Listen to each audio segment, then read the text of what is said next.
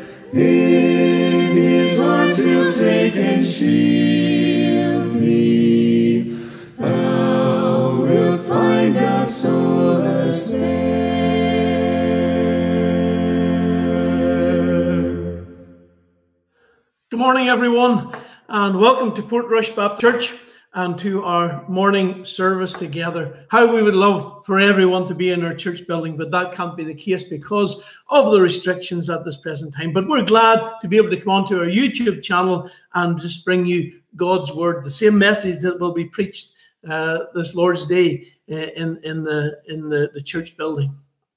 I just remind you of of our services during the week. Remember our Bible study on Wednesday evening at 7:30, and again, God willing, that will be on the YouTube channel. And remember our morning moments um, from Monday to Friday. Now, let me tell you something. This will be our last week. Uh, this is the last week of the morning moments. But what I'm going to start doing is I'm going to do a word for the weekend on a Friday morning. So this incoming week will be the last week of our morning moments. But on Friday morning at 10 o'clock, we're going to have a word for the weekend. So you can tune into that as well. But it's good to have you. And thank you so much for uh, tuning in uh, this morning to listen to God's word. Let's just bow in a word of prayer. Father, as we bow in thy most gracious and merciful presence this morning, we thank thee again for, for your promise that where the twos and the threes would be met together, that you would be in the midst. Father, we thank thee that they meet together in your name. They meet together, our Father, claiming your Christ as their Savior. Father, we do thank thee for the Lamb of God that taketh away our sins. And although our Father, we're separated because of restrictions, yet our Father, we thank thee that we can come together in spirit and together know your presence in our midst. Father, we just remember the days we're living in. We believe we're living in the last of the last days. We believe, our Father God, that the Lord Jesus Christ is coming soon for his bride, the church. And very soon, our Father, we believe that we will be caught up to be with the Lord.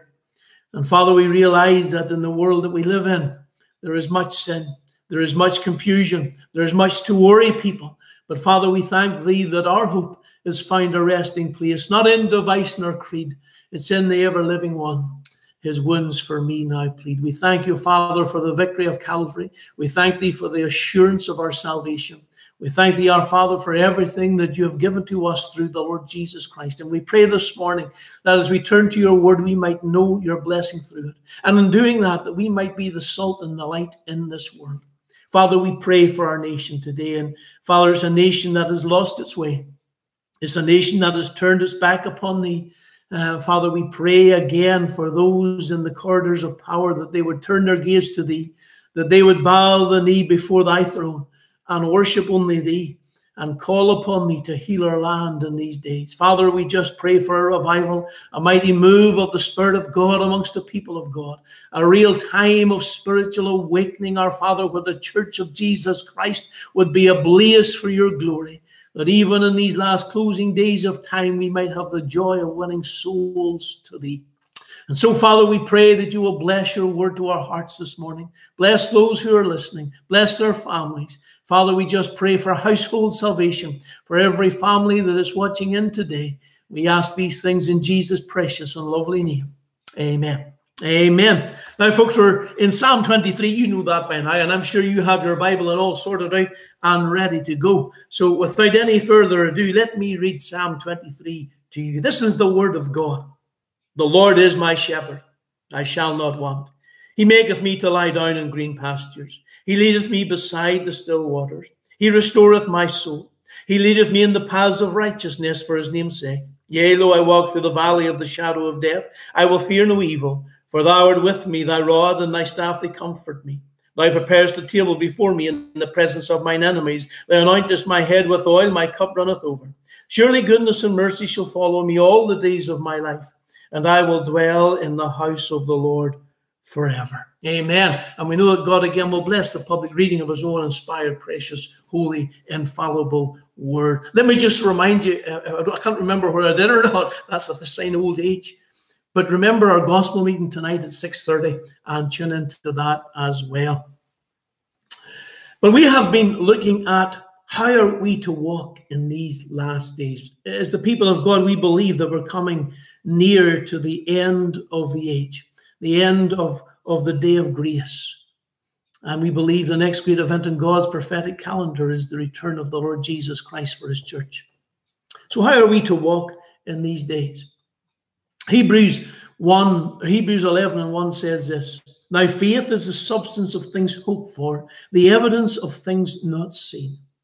In verse 6, it says this But without faith, it is impossible to please God. For he that cometh to God must believe that he is, and that he is the rewarder of them that diligently seek him. Someone has said that faith is dead to doubt, dumb to discouragement, blind to impossibilities, and knows nothing, nothing but success in God. Beloved, we have been looking at this beautiful psalm under the title of How to Walk in These Last Days. And up until now, we have seen that we are to walk with our head up, verse 1. We are to walk with a calm spirit, in verse 2. And we are to walk with a true witness. That was a challenging message last week, in verse 3.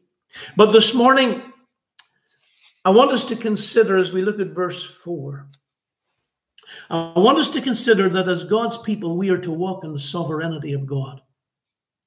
We are to walk in the sovereignty of God. This verse 4 Yea, though I walk through the valley of the shadow of death, I will fear no evil, for thou art with me, thy rod and thy staff, they comfort me. We, we use this, and rightly so, there's no problem with that when we're maybe talking to someone who's coming near the end of life, and, and we'll use this psalm, and especially verse 4, to bring comfort and encouragement to them. But, but really, the reality of this psalm is that it's a, a verse that speaks of the sovereignty of God. You see, the world that we're living in today seems, in the view of, of many people, to be out of control. Confusion seems to reign everywhere you look. Doubt swamps the minds of, of many people, and fear runs rampant across the world today. And the vileness of the human heart is being fed by ample sin.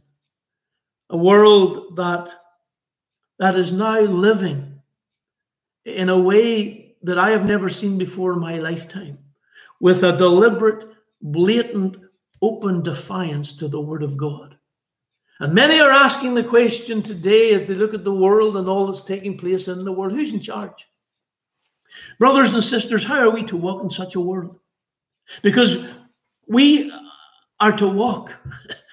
We, we, we are to live here. We may be, we may not be of this world, but we are in this world. And beloved, we are to walk having faith in the sovereignty of God. Amidst all the confusion and all the doubt and all the fear and all the sin, in the darkness of this world where death seems to stalk every step that man takes, we, the redeemed of God, are to walk in his sovereignty. In verse 4 of the psalm, I find three things that we have to have faith in if we are to walk in God's sovereignty. Firstly, we must walk with faith in God's plan.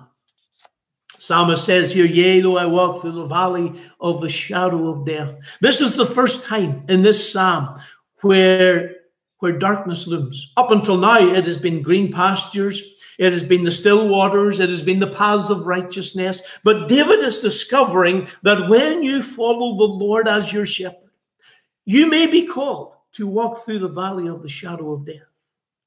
And beloved, I believe we're living in very dark days. And these are the last days, and I believe they're dark days.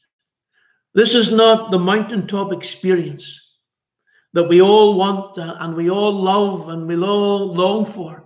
And this is not the wide expanse of the green pastures where we can rest a while as long as you want, none daring to make us afraid. Beloved, this is the dark valley of the shadow of death the psalmist is in now. Hazed in by the insurmountable rocky mountain face, facing what looks like undefeatable foes that threaten only death. And yes, it may only be the shadow, but it makes every tree a monster and every sound a scream of terror. And where every wild beast seeks to make you its prey. Christian, is this not a picture of the world that surrounds us today? A world where man, whether he seeks to admit it or not, but by his actions and his deeds and his words, have proven that he would rather have death than life. Death to the unborn child, death to the God given structures of marriage and family, death to any Christian influence in our schools and society, more drugs, more sex, more immorality, more for me. Everything that brings death to the life and soul of man seems to be the desire, the insatiable appetite of man's heart today. And there is much that is threatening to the people of God. It's interesting to note that they tell us now that Christians are the most persecuted people group in the world.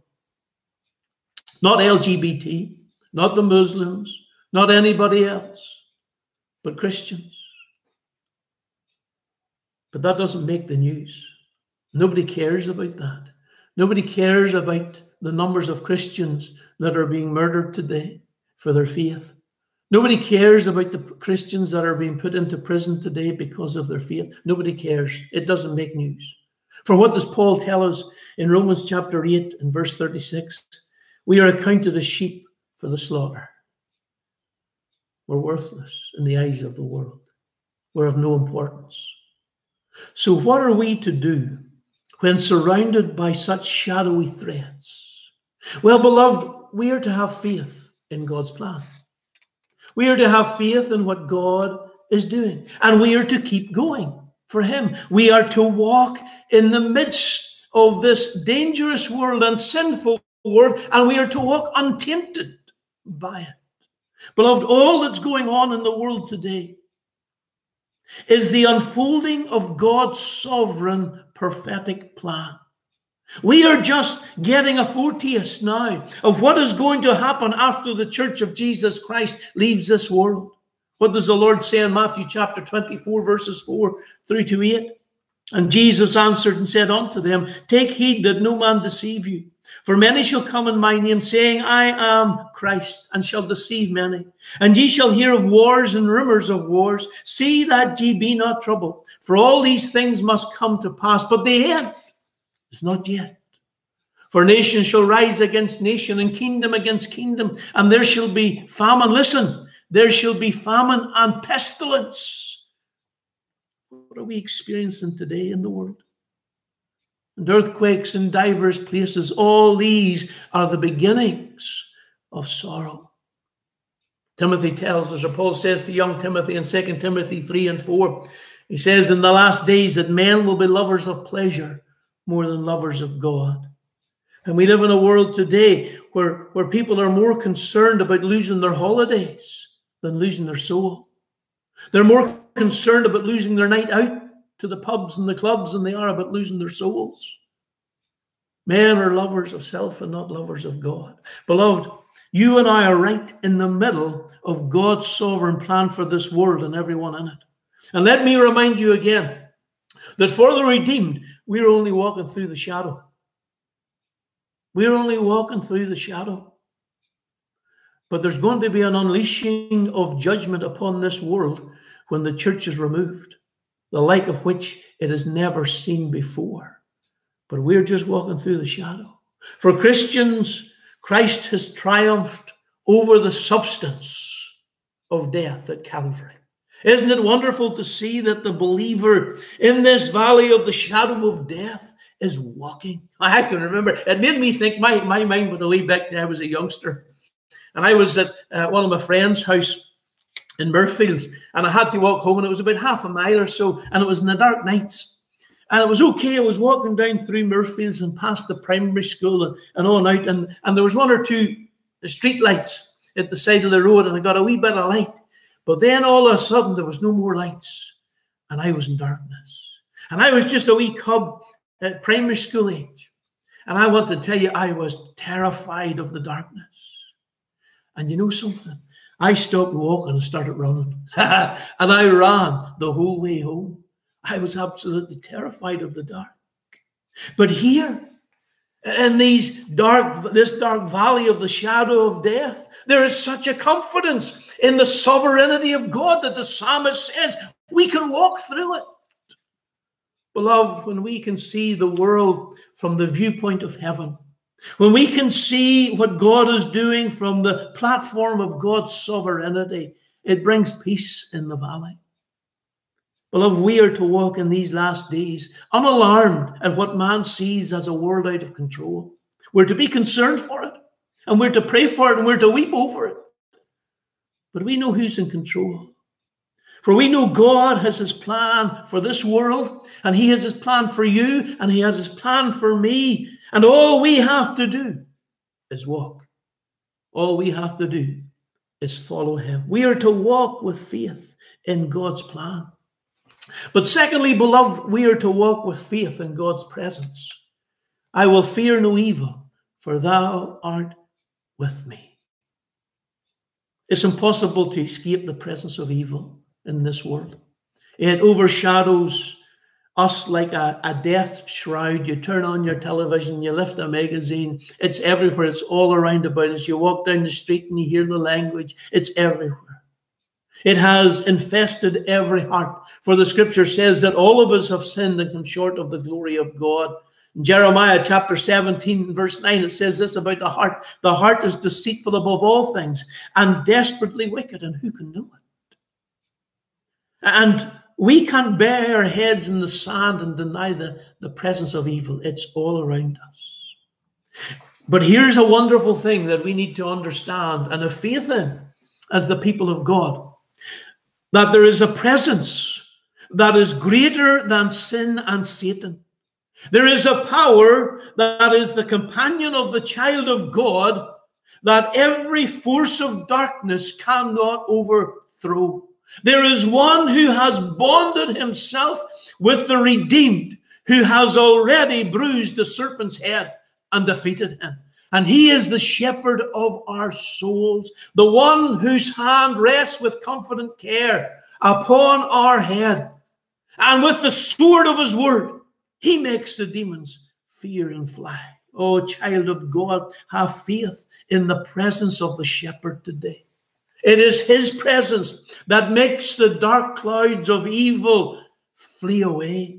He and he alone drives back the forces of evil. You see, he is the Lord. And do you see the wonderful change here. For up until now, David has been talking about the shepherd. The Lord is my shepherd.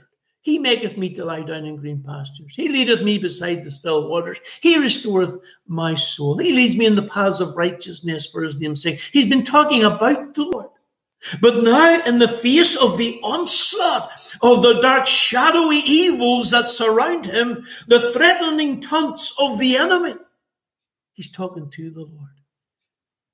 He says, I'm in this valley, but I need not fear the evil that surrounds me for you are with me. Oh, what did the Lord promise his disciples in John chapter 14 uh, and in verse 18? He says, I will not leave you comfortless. I will come to you. Oh, beloved, have faith today in the sovereign presence of the shepherd. He will not desert you in the dark valley. He has marked the path with his own precious blood. He has made the way through the valley by the cross. And there is nothing to fear if he is near. And even in the valley of the shadow, his paths are still paved with his righteousness. What does the psalmist say in Psalm 34, verses 4 and 5? I sought the Lord and he heard me and delivered me from all my fears. They looked on him and were lightened. That means radiant. And their faces were not ashamed. Can I tell you, beloved, it is the presence of the Lord that brings light into the darkness. Ah, oh, beloved, He is the one who stills the storms. Psalm 27 and verse 1 says, The Lord is my light and my salvation. Whom shall I fear? The Lord is the strength of my life. Of whom shall I be afraid? Psalm 91 verses 4 and 5 says, He shall cover thee with his feathers, and under his wings shalt thou trust. His truth shall be thy shield and buckler. Thou shalt not be afraid of the terror by night, nor of the arrow that flieth by day Beloved, his plan is sovereign. His presence is sovereign, for none can thwart our progress through even the valley of the shadow of death to our heavenly home. No one. Oh, beloved, to walk in these last days, we are to walk in the sovereignty of God, having faith in his plan, having faith in his presence. But finally, we're to walk with faith in his promise. Psalmist says, Thy rod and thy staff, they comfort me. I don't know if the rod and the staff are one and the same or whether uh, they are two different pieces of equipment. That's not that important for us today to try and sort out. But what is important for me is that the rod and the staff speak of the promises of God to his redeemed, his promise to protect us, and his promise to guide us through this valley. Beloved, many unseen dangers await us as we make our way home to glory. In the shadows of evil, there lurks the enemy of our soul, seeking to foil our progress, to lay wounds upon us that would weaken our walk. He seeks out the weak of the flock like a hungry wolf, seeking whom he may devour. But he cannot have us. For our shepherd is our defense. He is the one who will bear us upon his shoulders and carry us when, when we stumble and fall. When the, the, the, the trials of the journey are too much and we grow weary, he will gather us up. And even if we go astray, his all seeing eye will find us and bring us back to himself. And in those times when we think we know best, and we don't need to rely on the Lord, and we don't have to follow the Lord, and we don't have to seek the Lord. Why? He uses the staff of His word to correct us and bring us into line. Beloved, our shepherd, the shepherd of your soul and the shepherd of my soul, is well equipped to fend off all the enemies that we will face in the valley of the shadow. Look at what it says of him in Jude 1, verses 24. It says, Now unto him that is able to keep you from falling. That lovely? And present you faultless before the presence of his joy, with the uh, presence of his glory with exceeding joy.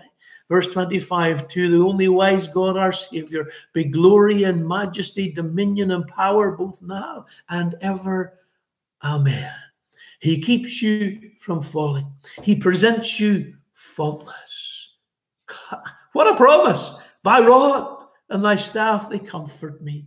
Beloved, in these last days, let us walk in the sovereignty of God with faith in his plan, faith in his presence, and faith in his promise. And then, even in these dark days in which we live, even in these valleys, we will know victory and we will know the power of God. So, beloved, let us let us keep going for God. Let us keep walking. Let us keep following our shepherd. Amen. May God bless his word to our hearts and to our souls this morning. Let's just bow in a word of prayer. Father, again, we do thank thee for thy word. We thank thee for the privilege of preaching it. And Father, we pray that you will bless this beautiful verse to our hearts and to our souls. Father, that we would take notice of it that it speaks very much of thy sovereignty. You are in control, our Father God. All of these things are working according to your plan and your purpose for the good of your people. Father, we realize that one of these days we're going home. One of these days we'll never have to walk through the valley of the shadow anymore. But Father, while we're here and while we're walking, we thank you for the Lord Jesus Christ who walks with us. We thank thee that he is our shepherd. He is the one who will protect us and he is the one who will guide us. And all to him we owe. So, Father, just commit our time to thee. We thank thee for the blessings of thy word and bless your people, for we ask it in Jesus' name. Amen. Amen. God bless you, folks. God willing, see you back here at 6.30 this evening. Until then, have a nice afternoon. God bless. Bye.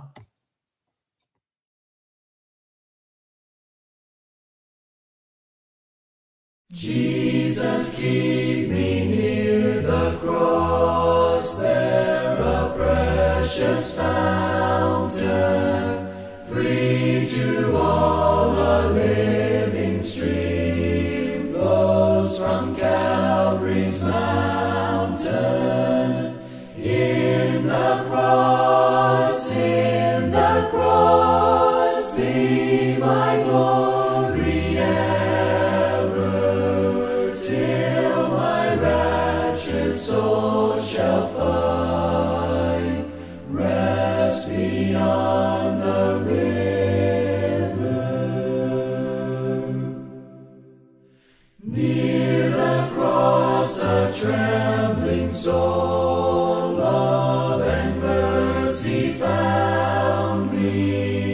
There